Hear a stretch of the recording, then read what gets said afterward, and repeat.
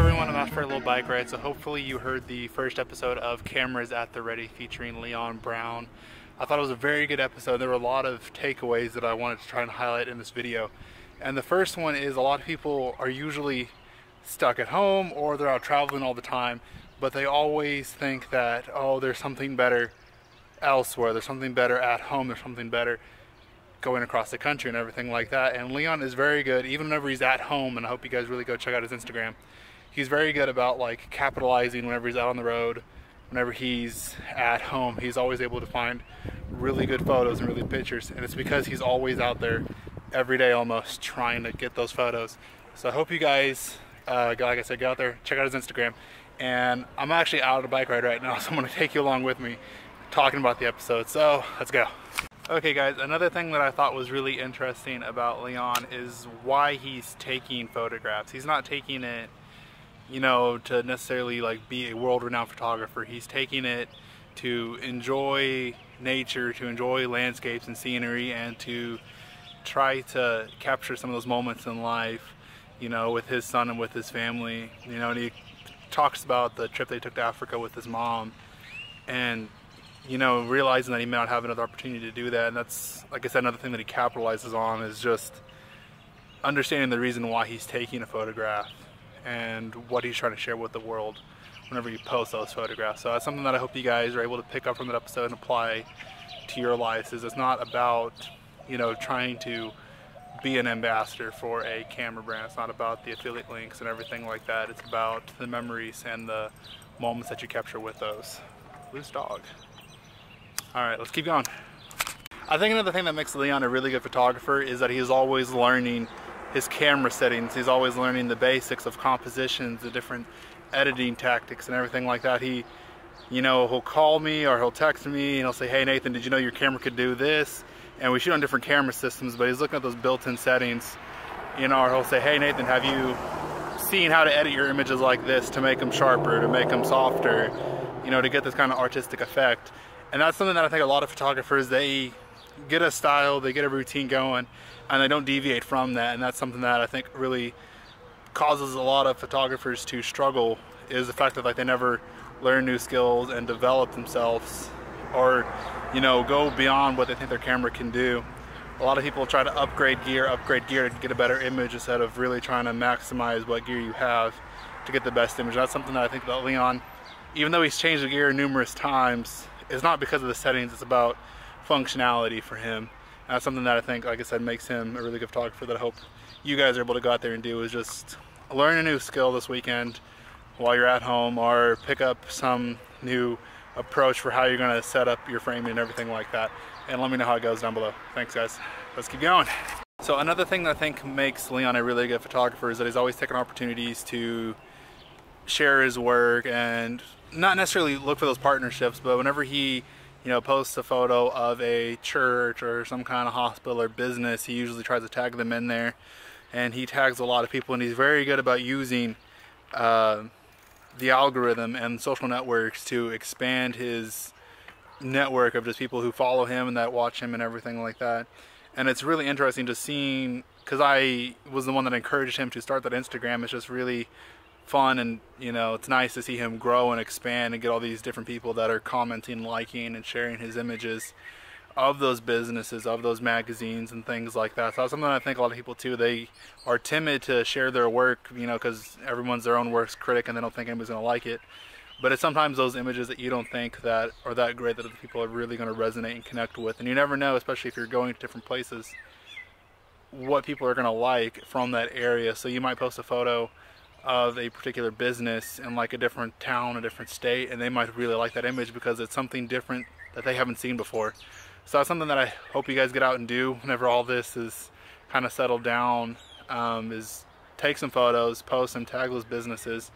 Don't be looking for anything in exchange, you know, whenever we talk, he's never looking, you know, to make money from a partnership or anything like that. He's looking just solely to put his work out there and hopefully people learn to appreciate the world the way he sees it. That's something I think a lot of people could take advantage of. All right, so let's keep going. Okay guys, so another thing that I think makes Leon another good example of what a photographer should be and act is the fact that like and, there, and there's gonna be conflicting viewpoints on what I'm fixing to say, but whenever he gets out of the truck and whenever he sets up the scene, he knows exactly what he wants, almost from the time that he looks at it.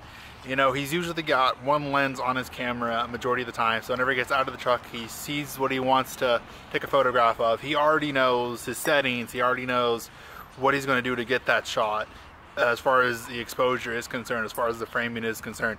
And that's something that I feel like a lot of photographers you know, it's got its good and its bad parts about that because one, you know, you're kind of eliminating yourself, but Leon is using it in a different way. Whenever he sees something, he's able to like, hey, I could use this skill here.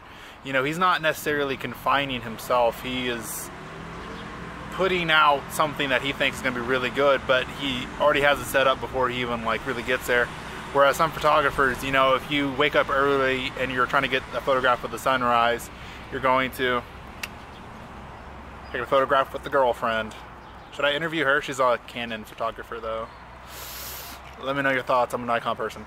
Anyways, so a lot of photographers, if they were to wake up early in the morning and they hadn't photographed a sunrise before, and they get up and they get out there and they're not sure on the exposure, if they want to go for a long exposure, get some cloud streaks, or if they want to go short exposure and get it nice and crisp, they're not sure. Whereas Leon, because he has so many different skills and abilities and he's learning all the time, he knows how to manipulate his camera and get the best out of any particular scene as soon as he gets there. That's something that I think is a huge part of what makes him so successful is he doesn't miss the opportunities because he always maximizes it.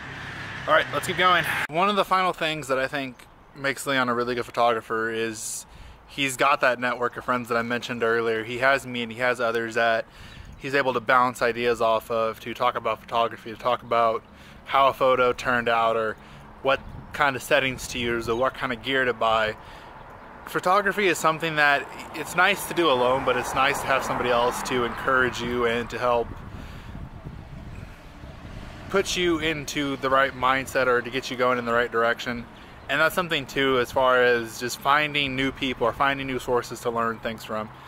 He's very good about finding a new YouTube channel or some kind of magazine or something like that where he's going to learn a new skill or a new tactic that's going to put him, you know, that much closer to where he wants to be at as a photographer or to help him get that scene perfectly.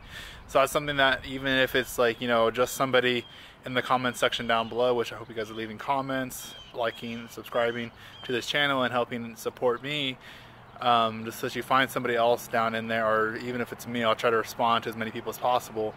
That just encourages you, that gives you some advice and recommendations that helps put you, like I said, that much closer to where you want to be. So, all right, let's keep going. A couple more stops. Okay, so one of the final things that I think makes Leon a really good photographer is that he's not brand loyal. And not that there's anything wrong with being brand loyal. I'm a huge Nikon loyalist. I'll probably always shoot Nikon.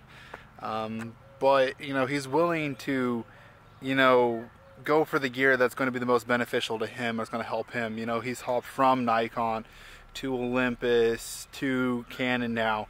You know, and it's not like, oh, hey, he's just looking for the best. He's looking for something that's going to meet his needs.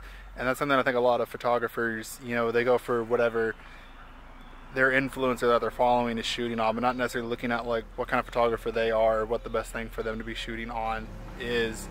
So that's something that I really encourage you guys just to do your research, not necessarily what you're being told, but what you feel, see, and under know and understand about photography. So let's keep going one more stop. So the final thing that I think makes Leon a really good photographer is he doesn't limit himself to just one style. He's not always going for a waterfall or a landscape. He's not always going for some kind of wildlife. He's going for whatever he thinks he can get a photo out of that is going to capture that moment and is going to make an impact for him that he's hopefully going to remember.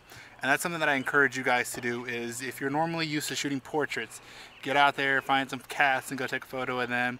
If you're normally shooting landscapes, try and take some macro imagery and really get out there, explore other things and find the best thing for you. And always keep your cameras at the ready. If you guys have any comments, questions, or if you guys just want to discuss the episode, uh, send a comment down below and remember to like, subscribe, and share. That stuff makes a difference, and I will see you guys next time.